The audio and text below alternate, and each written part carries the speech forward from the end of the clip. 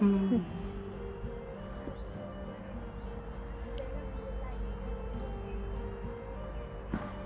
Er det nøkkel, eller? Det er ørevoksskje. Ørevoksskje? Ja, så q-tips, da. Så pinsett. Flis i fingeren får vi ofte. så herlig. Og så er det beinåler. Det er litt, eh, litt morsomt, da. Mm.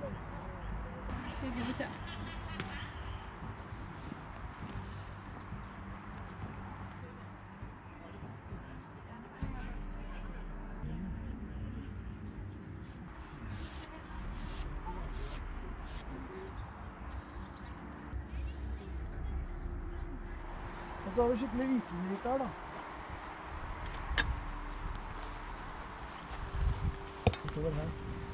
Det er eh, en kopi av ja, ja, I Osebergfunnet så, så fant vi en gripe som var satt sammen med flere plater. Klinka plater. Så Altså for å få den tett, for, eh, så brukte man som regel å koke graut. Rundt. Så det var det første jeg fikk beskjed om da jeg kjøpte den. Du må koke graut for å få den tett. Men det funka, det. Det var sånn.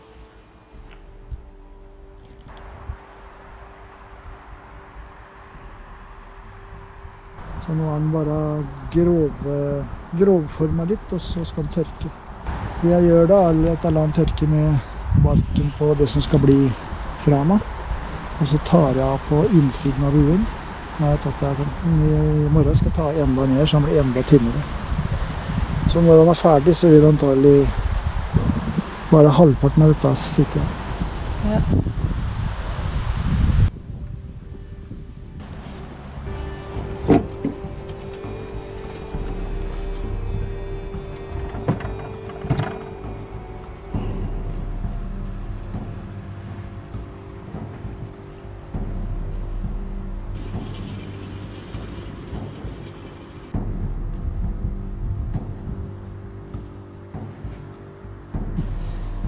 En ekte vikingbue. I vikingtid så brukte de stort sett barlind. Og barlind har, eh, har et naturlig laminat. Vi har en ytterved som tar det veldig godt å bli bøyd, strekk. Og så en kjerneved som tåler veldig godt å bli trukket sammen og så bli pressert, komprimert. Ja. Mens eh, andre typer treverk, det er eh, sånn som ask og alm f.eks. De tåler veldig godt strekk, men ikke så godt kompresjon. Så de blir ofte laget bredere og tynnere.